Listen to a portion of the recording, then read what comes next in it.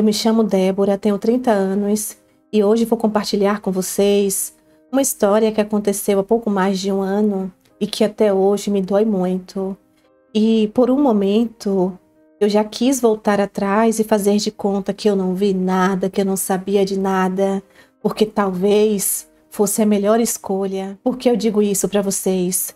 Porque hoje eu sou taxada por muitos familiares, conhecidos, ex-amigos, como a irmã invejosa, a irmã que destruiu uma família, a irmã que queria ser a outra, enfim, são tantas coisas terríveis que, meu Deus do céu, só Deus para me dar forças.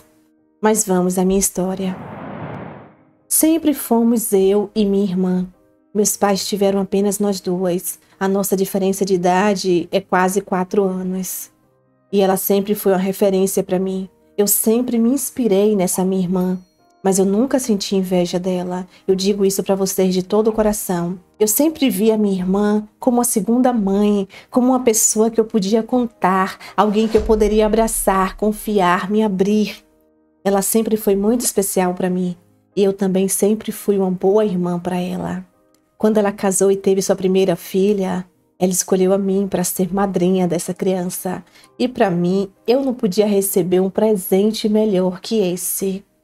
Casamos praticamente uma atrás da outra e os nossos maridos, nossos noivos na época, eram melhores amigos, haviam sido criados juntos. Então, assim, a família só fortaleceu com o nosso casamento.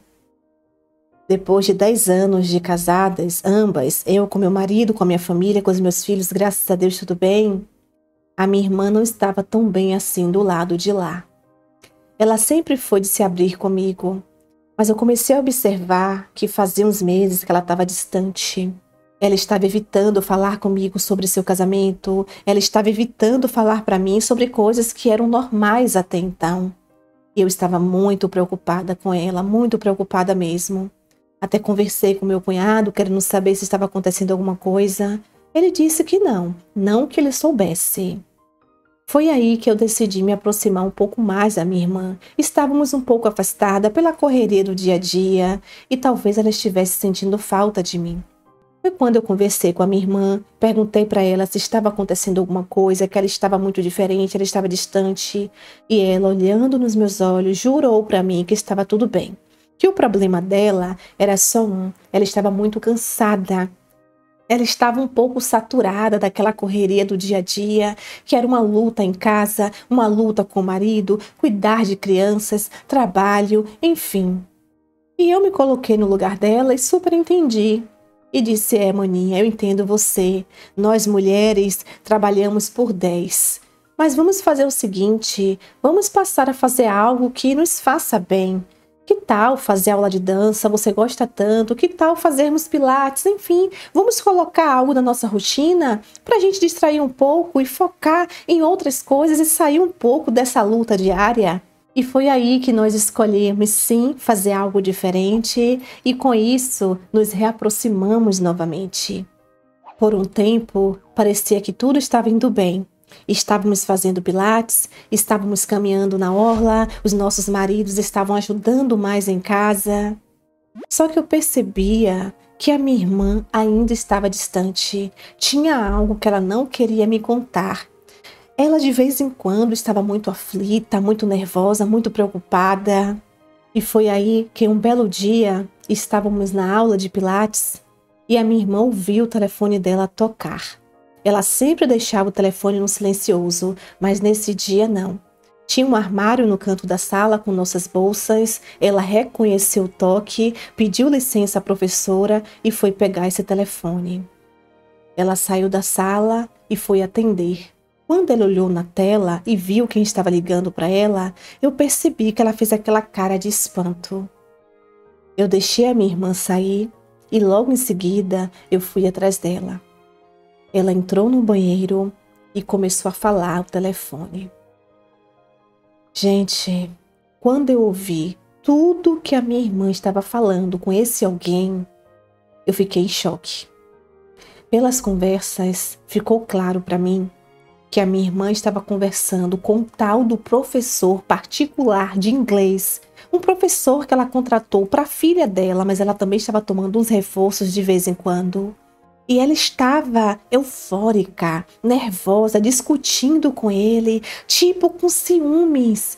Ficou claro que ela se envolvia com esse cara. Meu Deus do céu. Eu não queria acreditar que a minha irmã estava traindo o meu cunhado, o marido dela, um homem tão gente boa, um pai exemplar, um homem que sempre tratou ela tão bem. E justamente traí-lo com um cara que vive dentro da casa dela, dando aula para a filha dela. Era inacreditável aquela situação. A minha irmã estava fora de si no telefone, perguntando se ela era idiota, se ele estava fazendo ela de besta, quem era aquela mulher comentando na foto dele, dando uma crise de ciúmes com o cara. Eu voltei para a sala sem ação. Eu corri dali antes da minha irmã desligar o telefone. Quando ela voltou para a aula, ela estava transtornada, nervosa, até chegou para a professora e disse que não estava se sentindo bem, que ela iria embora mais cedo. Olhou para mim e perguntou se eu também iria acompanhá-la. Eu disse a ela que sim, mas quem disse que ela me esperou? Enquanto eu fui pegar minha bolsa, ela simplesmente desceu na frente. E aí eu pensei, eu vou deixar ela ir. Eu vou respirar um pouco, eu vou ter que conversar com a minha irmã. Tudo que eu ouvi aqui é muito sério, mas eu preciso ouvir da boca dela o que está acontecendo. Será que eu interpretei errado? Será que eu estou ouvindo coisas que de fato não são reais? Eu até estava achando que eu estava louca, pois a minha irmã, santa como ela sempre foi, uma mulher direita, coerente, uma mãe de família, uma esposa apaixonada pelo marido, agir daquela forma, para mim era impossível. Mas aí eu comecei a lembrar do distanciamento dela. Parecia que ela escondia algo de mim. Parecia que ela estava me evitando há um tempo justamente para que ela não precisasse me contar sobre esse caso. Quando eu cheguei em casa, eu liguei para minha irmã, perguntei se ela estava em casa, se ela tinha chegado bem, se estava tudo bem com ela. Ela disse que sim. Perguntei se meu cunhado já tinha chegado, se minha sobrinha barra afilhada estava em casa também. Ela disse que não, que os dois tinham saído. Tá bom. E o que é que eu fiz? Eu fui até a casa da minha irmã e eu fui bem direta com ela. Eu disse assim: Maninha, você por um acaso esconde coisas de mim? Você tem algum segredo? Porque da minha parte, não há segredo entre nós. Você sempre foi minha melhor amiga. Está acontecendo alguma coisa? Você quer conversar comigo? Agora seja sincera, se abra. Você está distante faz um tempo e não adianta você seguir negando, porque eu não acredito mais em você. A minha irmã, ela estava resistente. Eu tentava de todas as formas fazer com que ela se abrisse, mas ela inventava algumas desculpas, seguia dizendo que estava tudo bem. Ela não tocava no assunto da ligação. E foi aí que eu percebi que ela estava ficando um pouco nervosa, eu também. E eu cheguei para ela e disse: "Maninha, eu vou ser bem direta para você. Você está traindo o seu marido? Se você estiver traindo, pelo amor de Deus, seja verdadeira. Se não, eu peço perdão por essa acusação, mas você vai me entender. E aí eu comecei a contar para ela tudo o que eu tinha escutado através da ligação que ela fez lá do curso de Pilates. Ela ficou chocada. A primeira reação foi: por que, que você foi atrás de mim no banheiro? E outra, por que, que você ficou ouvindo a minha ligação e depois saiu como se nada tivesse acontecido? Aí quer dizer que você saiu do curso, foi para sua casa, arquitetou tudo o que você queria falar comigo, veio para minha casa para falar justamente sobre esse assunto aqui dentro da minha casa? É sério, maninha? Sério que você está fazendo isso? Eu estou decepcionada com você. E nesse momento eu percebi que a minha irmã, ela queria sair da situação, me colocando como culpada, sem assumir, sem me responder se de fato ela tinha um caso ou não. Ela começou a ficar muito alterada, muito nervosa. Ela não gosta de ser cobrada, ela nunca gostou, mas ainda assim eu insisti. Eu falei, maninha, Você só precisa ser direta comigo, Clara. Eu estou errada? Aquilo tudo que eu ouvi, aquela cena de ciúme, aquela coisa toda que você falou ao telefone, foi ilusão? Eu só quero saber a verdade. Eu preciso te ajudar, eu preciso te alertar. Você tem ou não tem um caso com o professor de inglês da sua filha? Caso com um homem que de vez em quando está aqui na sua casa, o seu marido paga para ele um salário ótimo para ele ajudar você e a sua filha, e você agora está se envolvendo com esse cara? Eu só quero saber o que está acontecendo. E nessa hora, morrendo de raiva, ela assumiu. Poxa, irmã, que assunto delicado. Você acha que se eu quisesse contar para você uma situação dessa, eu já não teria te contado? Eu queria te poupar dessa vergonha, porque sim, eu estou apaixonada pelo professor da minha filha. Eu acabei me envolvendo com ele. É por isso que eu estou confusa, é por isso que eu estou perdida, é por isso que eu estou te evitando. Eu sei que você é muito certinha, muito correta, que você vai jogar na minha cara que tudo isso é errado, mas eu não sei o que fazer. Eu só sei que eu não queria que você soubesse. Mas já que você sabe, sim, é verdade. De um lado, meu marido, que eu amo, eu gosto, mas eu não estou mais feliz no meu casamento. Tudo o que eu queria era ficar com esse professor, um professor que me levou para a cama, me iludiu e hoje eu descobri que ele está me enrolando. Ele tem outra pessoa e ele dizia para mim que eu era única. De repente a minha irmã começou a falar começou a falar, começou a se abrir, começou a colocar para fora tudo que estava engasgado. E ela demonstrou para mim que ela estava apaixonada por esse cara e estava com raiva, porque pelo jeito esse homem tinha uma namorada, ou tem, não sei, e ela não sabia. Ela estava iludida. O cara sabe que ela é casada, o cara nunca levou ela a sério, mas ela achou que ele estivesse levando. Ela estava criando expectativa em cima dele, ou seja, uma mulher de mais de 30 anos, totalmente iludida, caidinha pelo professor da filha dela. Diante disso, eu de fato fiquei revoltada. Eu comecei a falar muitas coisas para minha irmã. Eu não tenho muita paciência para essas coisas. Traição para mim é uma vergonha. Eu olhei para ela e disse: como você tem coragem de trair o seu marido?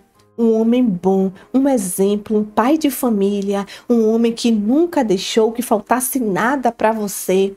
Quando você se viu aí perdida em muitos momentos da sua vida, foi ele que segurou na sua mão. Você deveria ter vergonha, irmã. Mas enfim, eu não vou ficar aqui só te julgando. Eu quero dizer para você uma coisa. Acabe com esse caso imediatamente. Peça perdão a Deus e procure uma forma de se libertar dessa sujeira e salve seu casamento. Foi esse o conselho que eu dei para ela. E ela ficou dizendo que não é tão fácil assim, que ela estava apaixonado por outro, que ela não consegue simplesmente acabar. E o pior aconteceu. Enquanto estávamos discutindo, enquanto a minha irmã fazia altas declarações de amor pro amante dela ali na minha frente, sabe quem chegou em casa? O marido dela, o meu cunhado. O meu cunhado conseguiu ouvir lá da área da casa a nossa discussão. Ele ficou preocupado, não deixou a filha entrar dentro de casa, entrou, entrou de uma maneira que a gente não conseguiu ouvir e parou ali, bem na nossa frente, depois de ouvir muito de tudo que a minha irmã estava jogando na minha cara. Senhor, nessa hora eu não acreditei no que estava acontecendo. O meu cunhado entrou ali no meio da gente, olhou para mim, olhou para ela e disse: Eu não acredito em tudo que eu acabei de ouvir. Eu não acredito que você está me traindo. Eu quero ouvir da sua boca tudo que você acabou de falar aqui, tudo que você acabou de derramar na cara da sua irmã. É verdade ou não? Nessa hora, eu tentei acalmar o meu cunhado, ele estava muito nervoso. Eu disse para ele que ele tinha entendido errado, que era uma confusão, que a gente ia conversar e resolver, que ele tinha entendido nada com nada, tentando minimizar a situação. Mas quem disse que ele acreditou em mim? Ele começou a se alterar, começou a ficar nervoso, esqueceu que a filha estava lá fora e eu perguntei: cadê a minha sobrinha? Ele disse: está na área. Eu disse: por favor, pelo amor de Deus, Pare um pouco, pare um pouco pela filha de vocês, ela é uma criança. E a minha irmã olhou para mim e disse: Faz o favor, já que você começou todo esse caos aqui, pegue a sua filhada e leve para sua casa que eu vou conversar com meu marido. Meu Deus. Nessa hora eu me arrependi. Eu me arrependi plenamente de ter ido até a casa da minha irmã. A minha intenção não era essa. Eu não queria causar todo esse transtorno para os dois. Peguei a minha sobrinha, fui para casa e os dois continuaram ali em guerra. Depois eu vim entender tudo o que aconteceu porque meu próprio cunhado me ligou e me contou. A minha irmã assumiu que tinha um caso com o professor. A minha irmã jogou na cara do marido dela todas as coisas que estavam entaladas. O marido dela, o meu cunhado, que sempre foi muito tranquilo, partiu para cima da minha irmã, partiu para a violência, deu uma surra nela. Foi uma confusão, a gritaria foi alta, os vizinhos tiveram que interferir. Gente, foi o pior pesadelo das nossas vidas. E com isso, o meu cunhado foi até a casa da minha mãe, Disse tudo o que tinha acontecido, jogou na cara da minha mãe que a esposa dele, de santa, não tinha nada, colocou no grupo da família. Foi uma vergonha. A minha irmã ficou desmoralizada. O meu cunhado teve coragem de ir atrás do professor barra amante da mulher. Ele partiu para a violência também, deu uma surra nesse homem, envolveu polícia. Foi um verdadeiro inferno, uma confusão que eu não consigo nem descrever para vocês aqui ao pé da letra. E com isso, como vocês devem imaginar, sobrou para quem? Para mim. E foi aí que a minha irmã disse que eu fui a causadora de todo o caos, que eu fiz de propósito tudo isso a fim de destruir a família dela, que eu sentia inveja dela o tempo todo, que eu poderia simplesmente fazer de conta que nada tinha acontecido ou conversar com ela em outro momento, em outro local, apoiá-la e não crucificá-la, que se eu não tivesse feito tanta raiva nela, ela não teria se exaltado, o marido não tinha chegado em casa, não tinha escutado tudo, enfim, e a família? A família achou que ela estava certa, que eu não devia ter me metido nisso, que eu tinha que ter ficado na minha. Todos disseram que se eu quisesse conversar com alguém, eu teria que ter conversado com a minha mãe, que é uma mulher idosa, sim, mas uma mulher sábia, uma mulher coerente, que a minha irmã iria com certeza ouvir o conselho da mãe. Mas não, eu escolhi acabar com a vida da minha irmã. E agora a minha irmã está desmoralizada. O tal professor barra amante dela esculhambou ela para todo mundo também. O marido saiu de casa, deixou a minha irmã ali totalmente zerada, entrou na justiça, quer tomar a guarda da menina. Ou seja, foi uma confusão ao nível máximo.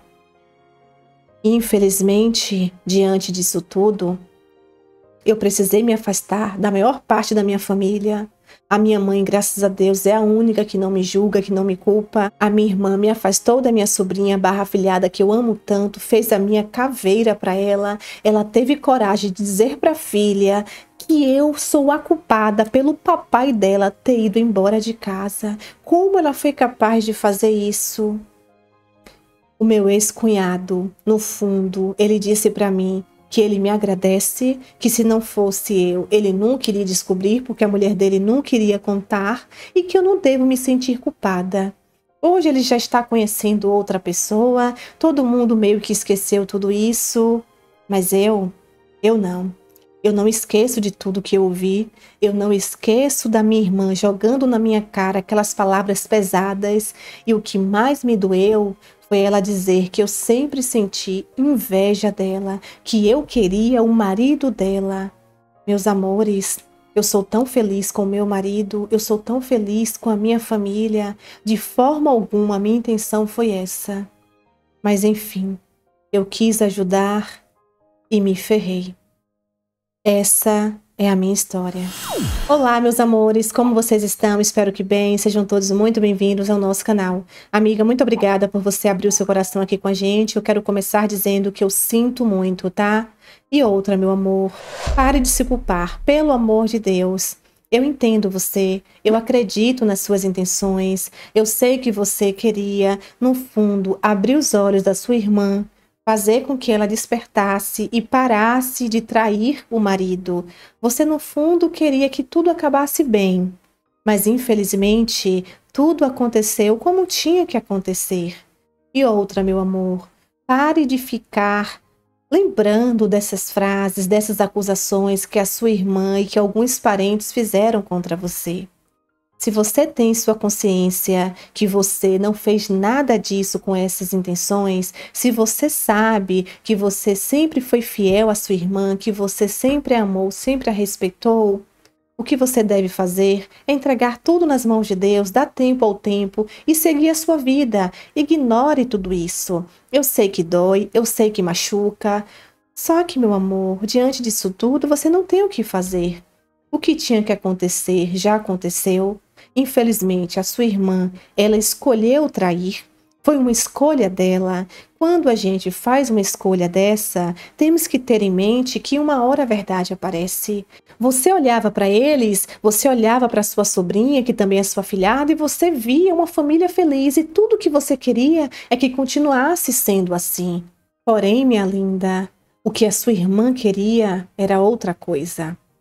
Ela era sua amiga até certo ponto. Chegou uma hora que ela, tendo consciência da escolha dela, que foi trair, se envolver com o professor de inglês, o que é que ela fez? Ela decidiu não compartilhar com você porque ela tinha consciência de que era errado, de que ela estava fazendo algo que não era coerente, que você jamais iria concordar. E por isso ela preferiu se afastar um pouco, se isolar e não compartilhar. Porém, você não fazia ideia que era isso que estava por trás de tudo.